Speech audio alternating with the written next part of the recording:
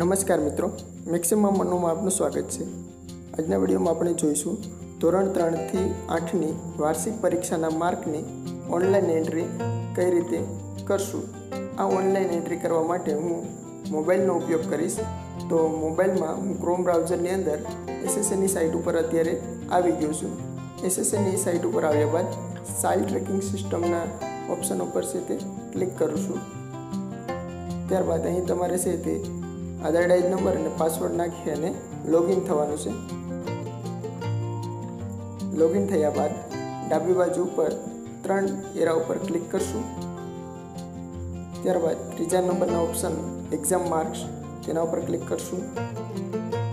ત્યારબાદ અહીં તમારે ધોરણ પસંદ કરવાનું છે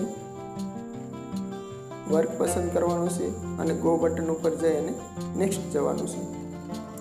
નેક્સ્ટ આવતા ધોરણ પાંચના બધા વિદ્યાર્થીઓના નામ છે તે અહીં આવી જશે. તેની સામે વિષયો હશે ગુજરાતી, ગણિત, પર્યાવરણ, હિન્દી, અંગ્રેજી.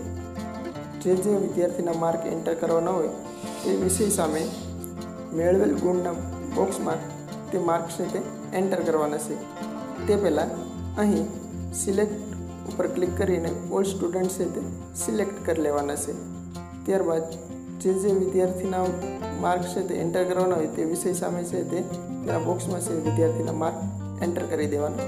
જો કોઈ વિદ્યાર્થી ગેરહાજર હોય તો તે વિષય સાનું જે અંદર ટીક માર્ક છે તે દૂર કરવાનું છે. જેમ કે અહીં ગણિત વિષયમાં કોઈ વિદ્યાર્થી ગેરહાજર છે, ધારો કે બે નંબરનો વિદ્યાર્થી ગેરહાજર હોય તો તે ગણિત વિષયનો ટીક માર્ક છે તે હટાવી દેશો.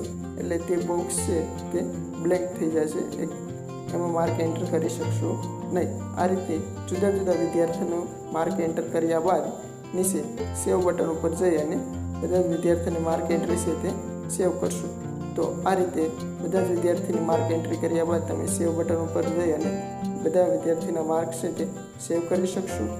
ત્યારબાદ ઉપર એક્સેલ ફાઇલ આપેલી છે. તો એ એક્સેલ ફાઇલ છે તે આપ ડાઉનલોડ કરી અને તેની પ્રિન્ટ પણ કાઢી શકો છો. તો આ રીતે મોબાઈલ દ્વારા ખૂબ જ ઝડપથી બધા જ વિદ્યાર્થીના જે માર્ક છે તેની ઓનલાઈન એન્ટ્રી કરી શકો છો.